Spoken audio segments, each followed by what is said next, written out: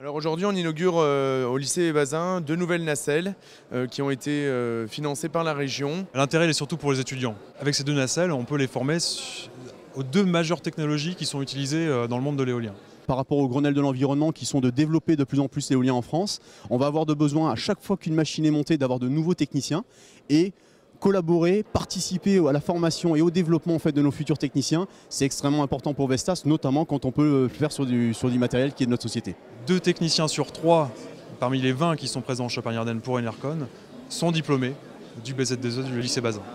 Cette formation euh, BZ2E hein, est une formation qui était la première à être développée en France comme celle-ci. C'est un, certificat allemand qui est une sorte de si vous voulez, une cahier des charges qui vise l'excellence en matière de formation de futurs techniciens de maintenance sur éolienne. And the interesting uh, idea of this uh, qualification was that the content was defined by the industry. So the, the content of this course is really that what a service technician has to do when working in the field. Je suis un proviseur complètement heureux parce qu'effectivement nous avons noué des relations euh, école-entreprise très fortes qui se traduisent aujourd'hui par ce partenariat avec euh, un investissement de la région certes, mais sur du matériel qui a été mis à disposition à un prix qui n'est pas le prix réel.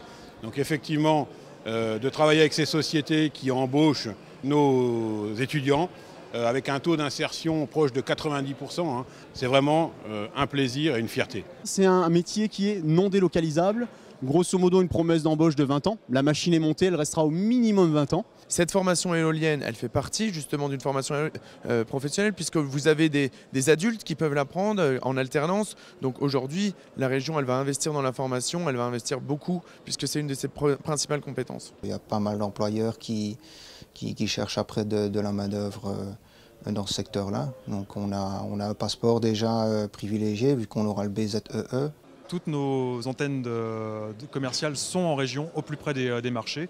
Et la dernière donc a ouvert effectivement à Reims-Bezanne, à côté de la gare TGV. Aujourd'hui, on a une formation au lycée Bazin, une belle formation d'excellence qui est reconnue par les, par les professionnels du secteur et ça nous permet de garder de l'emploi. Donc, euh, effectivement, c'est 100% gagnant.